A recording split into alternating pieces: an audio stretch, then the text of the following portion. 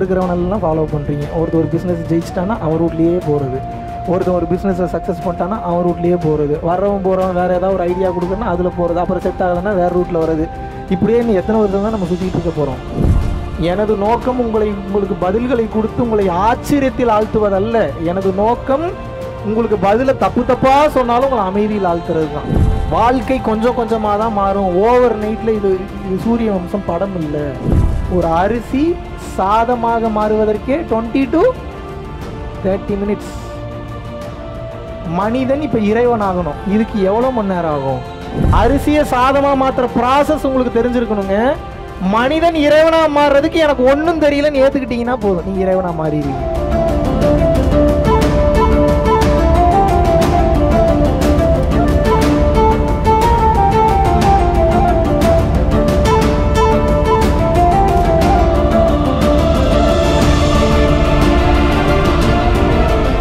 வருகின்ற ஜனவரி இருபத்தி எட்டாம் தேதி ரெண்டாயிரத்தி இருபத்தி நான்காவது வருடம் மலேசியாவில் உள்ள செரம்பான் அப்படின்ற பகுதியில் வந்து பார்த்தீங்கன்னா பரம்பொருள் யோகம் ஒரு நாள் நேரடி வகுப்பு வந்து கண்டக்ட் பண்ணுறோம் so Seremban Kuala Lumpur Shah Alam Klang இந்த பகுதியில் இருக்கிறவங்க எல்லாருமே தாராளமாக கீழே உள்ள காண்டாக்ட் நம்பர் காண்டாக்ட் பண்ணி உங்களது பெயரை முன்பதிவு செய்து கொள்ளலாம். சென்னையில் பெய்த மழை உணவு தேவைகள் மளிகை ஜாமான் பொருட்கள் இது எல்லாமே வந்து மழை நீரினால் வீணடிக்கப்பட்டு விட்டது.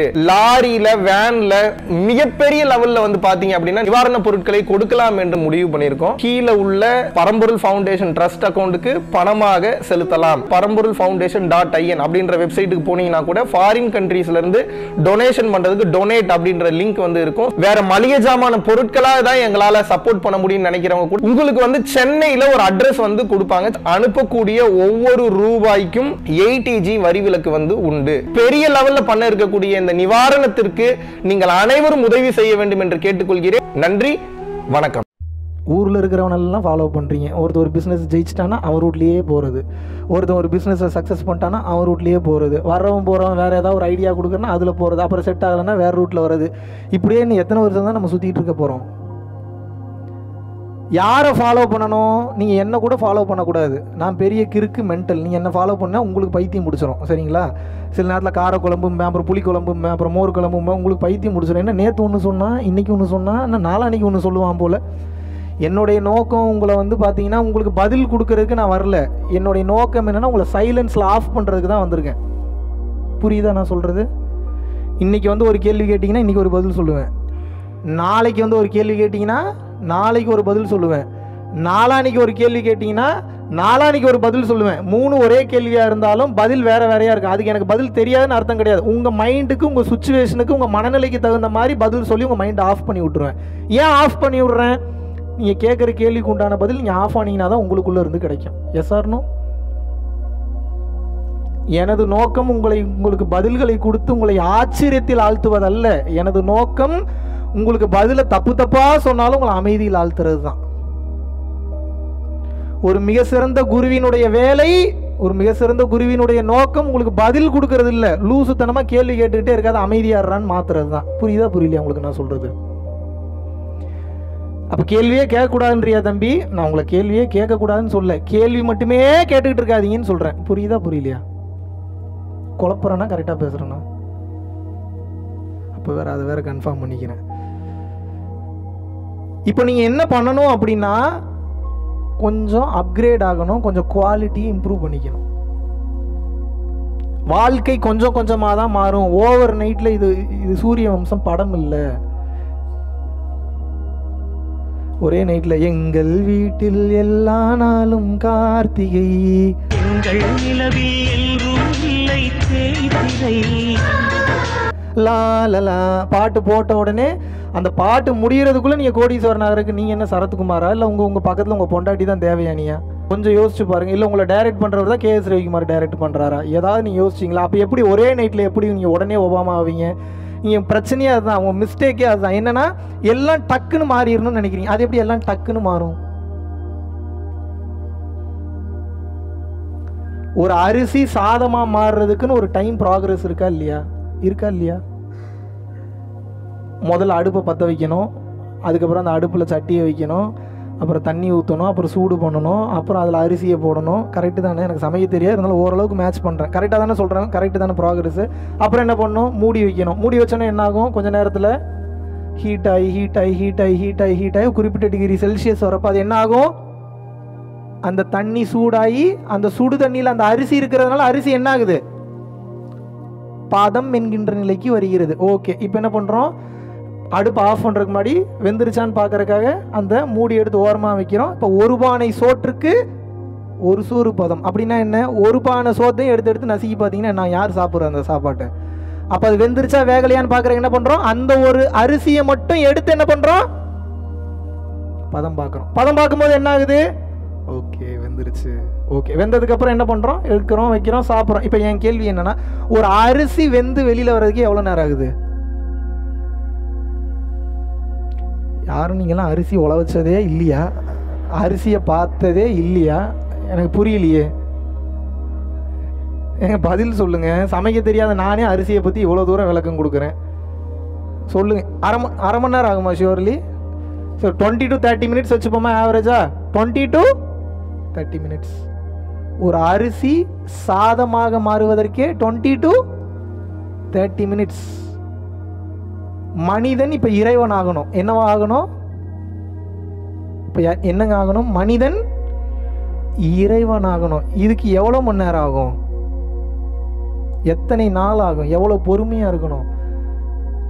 ஒரு அரிசி சாதமாக மாறுறதுக்கே ஒரு ப்ராசஸ் இருக்கு. எஸ்ஆர்னோ சட்டி இருக்கணும் நெருப்பு இருக்கணும் அடுப்பு இருக்கணும். முதல்ல அரிசி இருக்கணும். அதெல்லாத்தையும் தாண்டி அதெல்லாம் எடுத்து போட்டு அப்புறம் வச்சா பொறுமை இருக்கணும். என்ன இருக்கணும்? என்னங்க இருக்கணும்?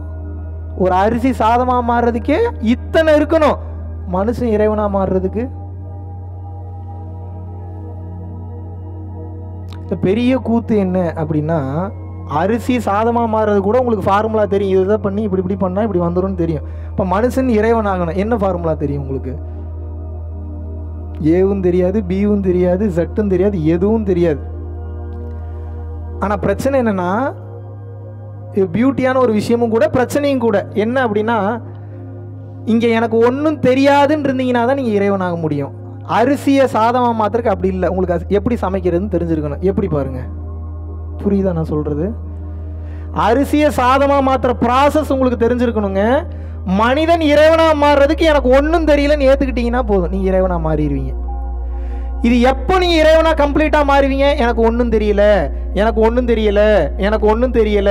எனக்கு ஒன்றும் தெரியலன்னு ஒரு நாளைக்கு இருக்கக்கூடிய இருபத்தி நாலு மணி நேரத்தில் எவ்வளோ மணி நேரம் எனக்கு ஒன்றும் தெரியலன்ற ஃப்ரீ மைண்டட் மென்டாலிட்டியில் நீங்கள் இருக்கீங்க. Point number one point number two உங்களுக்கு அப்புறம் தப்பு தப்பாக ஏதாவது லைஃப்பில் நடந்தால் கூட அதே நம்பிக்கையில் அதே பொறுமையில் விடாமல் ட்ராவல் பண்ணி கண்டினியூ பண்ணிக்கிட்டே வரும்போது ஒரு காலகட்டத்துக்கு மேலே என்ன ஆகும்னு வந்து கேட்டிங்கன்னா அதுக்கப்புறம் தான் அருள் என்பது அருட்பார்வை உங்கள் மீது விழும். யாரோட அருட்பார்வை? ஏன் அருட்பார்வையா? எனக்கு ஏது அருள்? எனக்கு ஏது பார்வை? என்ன விட்டுருங்க. இறைவனின் அருட்பார்வை உங்கள் மீது விழும். உங்களை மாதிரி நானும் பத்தோட பதினொன்று தான். இப்போ எதுக்கு இந்த சீட்டு கொடுத்துருக்காங்கன்னா உங்களுக்கு கொஞ்சம் தெரியல எனக்கு ஏதோ ஓரளவுக்கு தெரியும். ரொம்பலாம் தெரியாது. எவ்வளோ தெரியும்? கொஞ்சோண்டு தெரியும். அது தெரிஞ்சதுனால உங்களுக்கு சொல்கிறதுக்காக இந்த சீட்டு மற்றபடி உங்களுக்கு எனக்கு டிஃப்ரென்ஸே இல்லை. நானும் அந்த ஆளை தான் பார்க்குறேன். நீங்களும் யாரை பார்க்கணும்? அந்த ஆளை தான் பார்க்கணும். வேறு வழியே இல்லை உங்களுக்கு. இன்னொருத்தன் நல்லா இருக்கணும்னு நினைக்கிற வரைக்கும் நீங்கள் நல்லா இருக்கிறதுக்கு வாய்ப்பே இல்லை.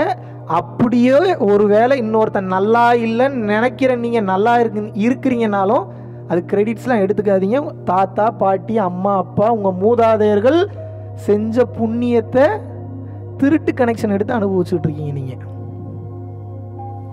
இதில் ஒரு பெருமையும் படுறதுக்கு ஒன்றும் கிடையாது. இதில் பில்டப் பண்ணுறதுக்கு ஒன்றும் கிடையாது. ஒருவேளை உழைச்சி சம்பாதிச்சு கஷ்டப்பட்டு நீங்கள் ஏதாவது அனுபவிச்சு கஷ்டப்பட்டு நீங்கள் உயர்ந்த நிலைக்கு வந்திருந்தாலும் இறைவனின் அருட்பார்வை உங்கள் மேலே பற்றுக்கு போய் தோழன்னு ஏதோ ஹெல்ப் பண்ணுறாரு அவர். அவ்வளோதான் அதுலேயும் நீங்கள் கிரெடிட்ஸ் எடுத்துக்கிறதுக்கு ஒன்றுமே இல்லை. ஆக மொத்தம் சர்வம் சிவார்ப்பணம் சர்வம் கிருஷ்ணார்ப்பணம் சர்வம் இயேசுவுக்கு அர்ப்பணம் சர்வம் அல்லாவிற்கு அர்ப்பணம். எப்படி வேணாலும் இறைவன் பேர் வச்சுங்க எதுவும் உங்களுது இல்லை. எது நடந்ததோ அது நன்றாகவே நடந்தது. அப்படின்னா என்ன அர்த்தம்? நேற்று நீங்கள் படுத்து தூங்குனது சாப்பிட்டது கொட்டாய் விட்டது பக்கத்து வீட்டுக்காரன் திட்டினது காரு டயர் ஓட்டையானது பஞ்சர் ஆனது உங்களை கண்டபடி ஒருத்தன் கெட்ட வார்த்தையில் பேசுனது எல்லாமே எதுக்கு நடந்தது இல்லை? கரெக்டாக நடந்திருக்கு. எப்படி நடந்திருக்கு? எது நடக்கிறதோ அது நன்றாகவே நடக்கிறது. அப்படின்னா என்ன அர்த்தம்?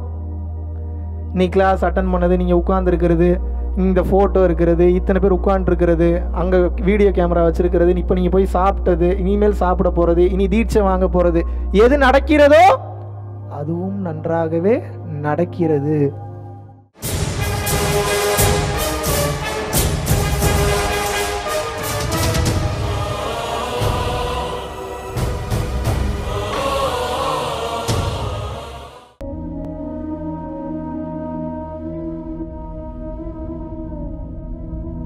பரம்பொருளின் கருணையினால உங்களுடைய இடைவிடாத அன்னதானத்திற்கு நீங்கள் அனுப்பப்பட்ட பணத்தின் மூலியமாக பல லட்சம் உயிர்களுக்கு இது நாள் வரைக்கும் வந்து சாப்பாடு கொடுத்துருக்கோம். ஸோ கொரோனாலேருந்து ஆரம்பித்து ஒரு நாள் கூட விடாமல் பல உயிர்களுக்கு வஸ்திர தானங்களாக இருக்கட்டும் படிக்க முடியாதவங்களுக்கு கல்வித்தொகை கட்ட முடிய விஷயங்களாக இருக்கட்டும் இல்லை ஸ்போர்ட்ஸ் ரீதியாக விளையாடக்கூடிய நல்ல மாணவர்களை அனுப்பி வைக்கக்கூடிய விஷயங்களாக இருக்கட்டும் அதை தொடர்ந்து வந்து பார்த்தீங்கன்னா ரெகுலராக மந்த்லி பேசிஸில் ஏழை குழந்தைகளுக்கு க்ரோசரிஸ் கொடுக்கறதாக இருக்கட்டும் இல்லை அவங்களுக்கு வந்து பார்த்தீங்கன்னா சேம் அவங்க விருப்பப்படுறவங்களுக்கு வீட்டு துணிமணிகள் வீட்டுக்கு தேவைப்படக்கூடிய மற்ற பொருட்கள் வாங்கி கொடுக்கறதாக இருக்கட்டும். எல்லா உதவிகளும் வந்து பார்த்தீங்கன்னா உங்களோட உதவினால தான் போயிட்டு இருக்கு. சாது சிதம்பர சுவாமிகள் வளநாட்டார் வந்து ஒரு வார்த்தை சொல்லுவார் பசித்தோர் முகம்பார் பரம்பொருள் அருள் கிட்டும் அப்படின்னு வந்து சொல்லுவார். வள்ளல் பெருமானும் ஜீவகாருண்யம் உள்ள சம்சாரிகளுக்கு எப்பேற்பட்ட சூழ்நிலையிலும் வந்து பார்த்தீங்கன்னா அவங்களோட லாபம் தடைபடாது தொழில் பிரச்சனைகள் வந்து நிவர்த்தியாகும். அதை தொடர்ந்து வந்து வாழ்க்கையில குடும்ப பிரச்சனைகள் விலகும். அதுபோக குழந்தை சம்பந்தமான பிரச்சனைகள் எதுவாக இருந்தாலும் வந்து இந்த அன்னதானத்திற்காக நீங்கள் செய்யக்கூடிய ஒவ்வொரு ரூபாயும் அது வந்து உங்களுக்கு நிச்சயமாக புண்ணியமாக வந்து சேரும். புண்ணியத்தை கடந்த நிலையில் முக்தி பாதைக்கும் அது நிச்சயமாக உங்களை வழிநடத்தும் அதனால விருப்பப்படுறவங்க நம்மளுடைய பரம்பொருள் அறக்கட்டளினுடைய சேரிட்டி ஆக்டிவிட்டீஸ்க்கு தங்களுடைய விருப்பப்படக்கூடிய நன்கொடையை கீழே உள்ள டிஸ்கிரிப்ஷனில் இருக்கக்கூடிய அக்கௌண்ட் நம்பருக்கு செலுத்தலாம். இதற்குண்டான அந்த அருளை சித்தர்கள் உங்களுக்கும் உங்கள் குடும்பத்தாருக்கும் வழங்க வேண்டுகிறேன். குருவின் பரிபூர்ண அருளாசிகள் குரு கடாட்சம்